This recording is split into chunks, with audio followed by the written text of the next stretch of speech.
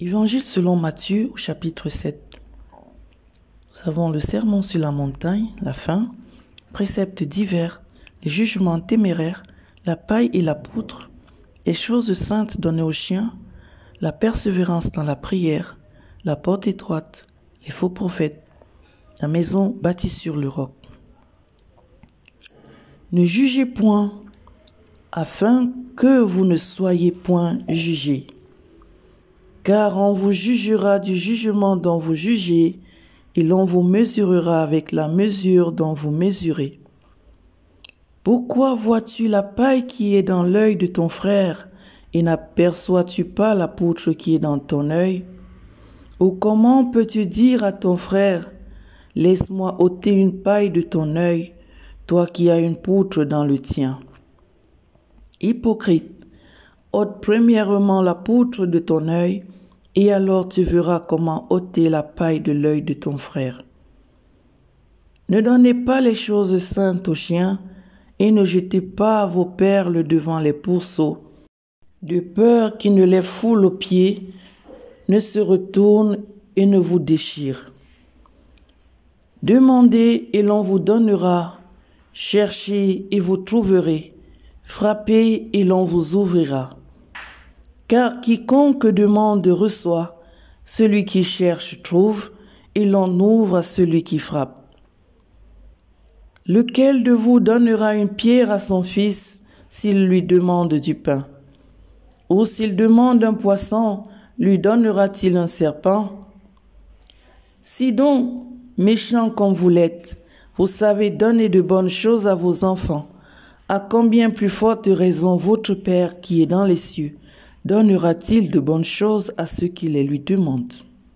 Tout ce que vous voulez que les hommes fassent pour vous, faites-le de même pour eux, car c'est la loi et les prophètes.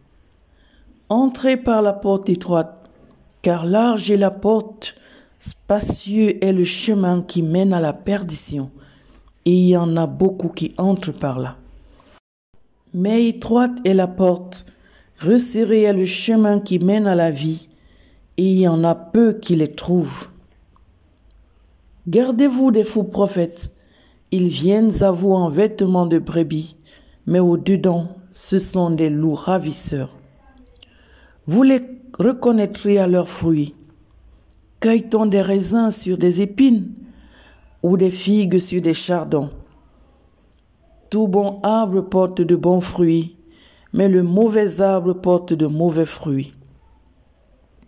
Un bon arbre ne peut porter de mauvais fruits, ni un mauvais arbre porter de bons fruits. Tout arbre qui ne porte pas de bons fruits est coupé et jeté au feu. C'est donc à leurs fruits que vous les reconnaîtrez. Ceux qui me disent Seigneur, Seigneur, n'entreront pas tous dans le royaume des cieux mais celui-là seul qui fait la volonté de mon Père qui est dans les cieux. Plusieurs me diront en ce jour-là, Seigneur, Seigneur, n'avons-nous pas prophétisé par ton nom? N'avons-nous pas chassé des démons par ton nom? Et n'avons-nous pas fait beaucoup de miracles par ton nom?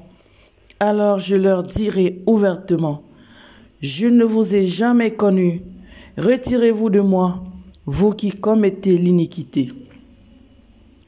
C'est pourquoi quiconque entend ces paroles que je dis et les met en pratique sera semblable à un homme prudent qui a bâti sa maison sur le roc.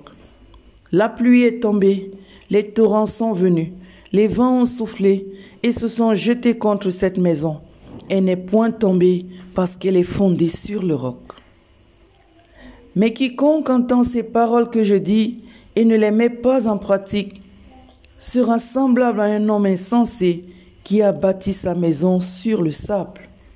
La pluie est tombée, les torrents sont venus, les vents ont soufflé et ont battu cette maison. Elle est tombée et sa ruine a été grande. Après que Jésus eut achevé ses discours, la foule fut frappée par sa doctrine, car il enseignait comme ayant autorité et non pas comme les scribes.